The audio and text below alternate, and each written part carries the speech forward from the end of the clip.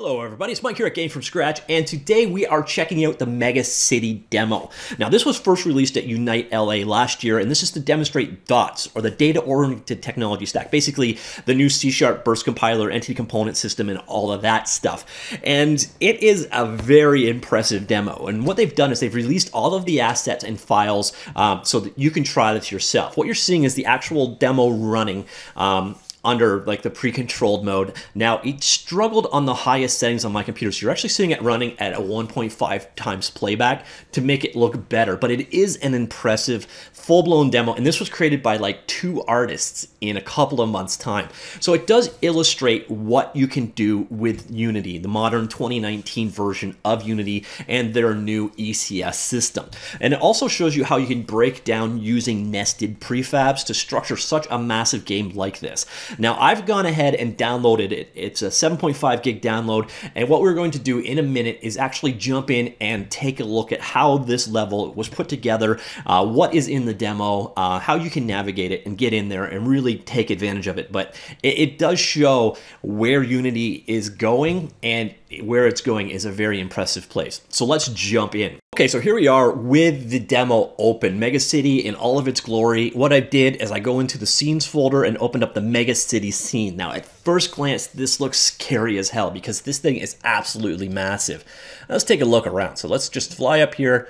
Now, what you'll notice is your computer may chug at times. Mine definitely does off and on, and that's because I have a 16 gig system. And I think a lot of you, especially if you're working on laptops, have a 16 gig system too.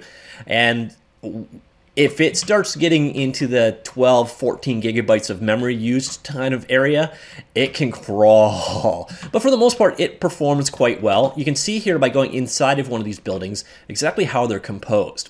And once again, this looks terrifying, but don't worry, we'll break down exactly what's going on here. Uh, but really, it's not that bad. It, it's, it's a fair bit of work, of course, uh, but if you really look closely at the city itself, and let's go down and look at some of this garbage because that plays a big part in the city.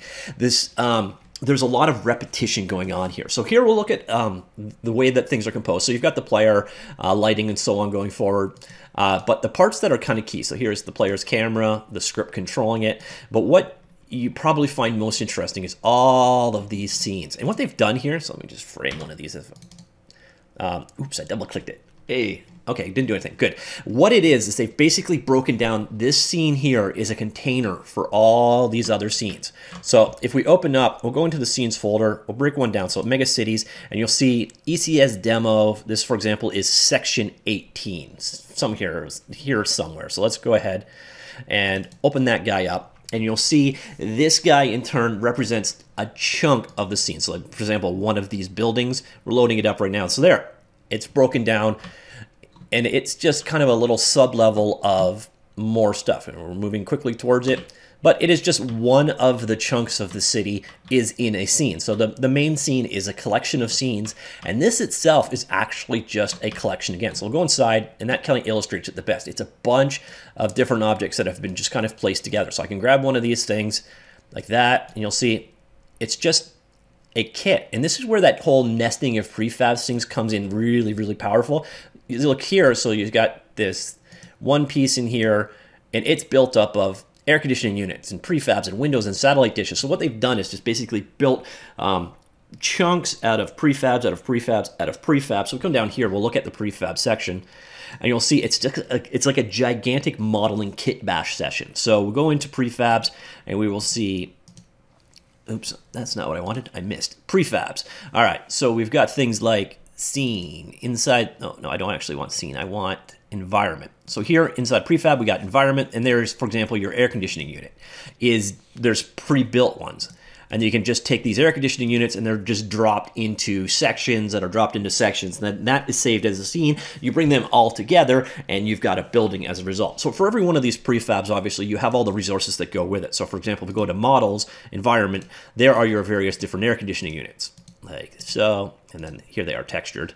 And then speaking of textures, you go into materials, you've got environments, and there's your air conditioning unit again, and there's the materials controlling that um, particular model. And of course, that material requires a texture. You come down here into textures, and you've got environment, air conditioning unit, and there's the air conditioning unit texture. So it's kind of like almost imagine flipping it on its reverse. So what you do is you model a single air conditioning unit, you save it as a prefab, and then you model a wall and a window and so on, and then you just start building and you make a a house out of it or a, apartment unit. And then you save that as a prefab and then you create a building scene out of it. And you create it using all of the different prefabs or lego bricks that you've created. And then you create a mega city scene where you bring in all your individual building scenes and that's what you've got. Now another thing to notice here that i didn't really show that much is we do have multiple different LODs available. So as you kind of get closer to the buildings, it's swapping in the higher resolution or higher detailed version. So that's how they handled LODs. Now there's actually, if you go to their site, which we'll go to in a second, they have um, details on how all of this was put together. So you can definitely learn the process behind it. But really, it's a fairly straightforward process. There's also some other interesting stuff here. Um, we have their shaders. So for example, let's see the trash that's all around the scene. We can open this guy up. It will open up. It is a shader shader graph shader, so you can see a very complex shader graph to create the trash around the world here. So if you want to see how shader graphs work, that's what they've done here. So you can see it. And now, weirdly enough, I don't get a preview. Don't know why that is. Uh, but you can see shader graph in action there. Another thing here is this is using the HDRP. Uh, so if you go into the settings area over here, you will find they have three different um, render pipelines configured. So this is the HD render pipeline asset, the standard one. We have another one here for consoles, which is going to take a second to load. Let's see. Da, da, da like I said, it, it, takes a bit to load. Here are the configurations and settings for the console version. And then finally, we have another render pipeline set up for um, the, the mid-tier or mid-range machines as well. So you can see how to render and configure multiple different uh, qualities of um, renderer. We also have some timeline stuff here for controlling the fly, um, the fly through of the world. So for example, here we've got a bunch of different control points controlling the splines around the world, which I accidentally just moved. And then here you can actually see the timeline. Oh, that's not actually it. It is in here somewhere. There is a timeline controlling the uh, uh, character flying through the scene. It might be under animations. Timeline, yeah, here it is. So here is the ECS timeline in, in place for that when we first watched the demo, how I was flying through the city. That is the bit that controlled it. So in the end, it's, it's, it looks really, really daunting and terrifying, but it's not too bad, actually. And then the other area you're probably going to want to jump in and look at is the uh, script section. So we've got some interesting scripts here. For example, coming to gameplay, we can see the controller that controls the car flying around the scene, the player vehicle controls over here. Standard, pretty straightforward code for the most part, though. Uh, we've got code controlling the traffic, the other cars in the scenes. Uh, we got the main menu when you first fire up, including uh, states for it there.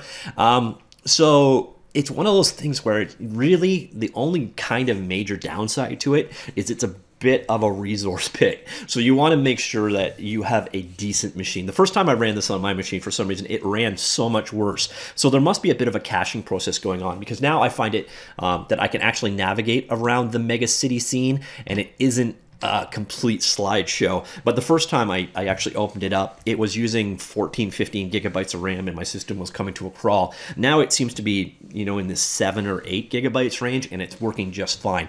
Now, another thing to keep in mind is you're going to want an okay GPU. What you saw here was a 1080. When I ran it on my 1050, it, it wasn't even worth loading up. So if you don't have at least, I'd say about a 1070 or 1080 as your GPU or say a 2070, maybe even a 2060, uh, it, it's probably not even worth worth loading up, to be honest. So here is the website if you want more information or if you want to go get it for yourself. During GDC, it was on this like temporary download link that was really, really slow. Thankfully, now they are hosting it themselves. So it's available at unity.com forward slash megacity. I'll drop that link down below.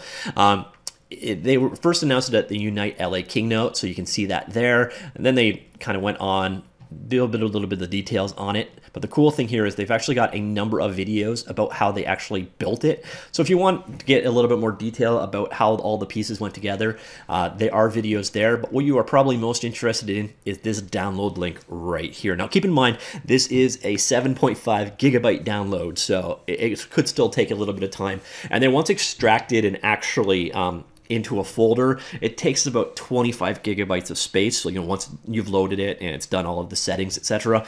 And to build it, it's another about five gigabytes in size. Now, apparently this will run on mobile. I didn't bother doing a mobile build, but if you're into it, uh, you can definitely check that out and see how this actually performs on your phone. I didn't try that myself, but like I say, this is a very cool um, illustration of just what Unity is capable of in terms of scale uh, and performance. If you're looking at how the, the new pieces all fit together and ECS and Burst Compiler and all that stuff, it's not probably the ideal place to learn from because it's just so big, but it does show you how you could build and construct a really large single map world game.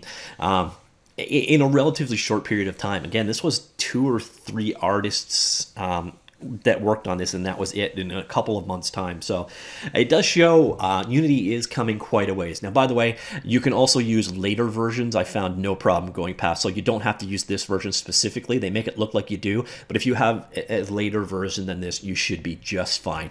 All right, so that's uh, a little look behind the scenes at the Mega City download. Um, it, it's it's definitely a, an impressive file, but again, you're gonna need a lot of disk space. You're gonna need a decent computer, and if you've only got uh, if you got less than 16 gigs of RAM or less than a 1070, don't bother.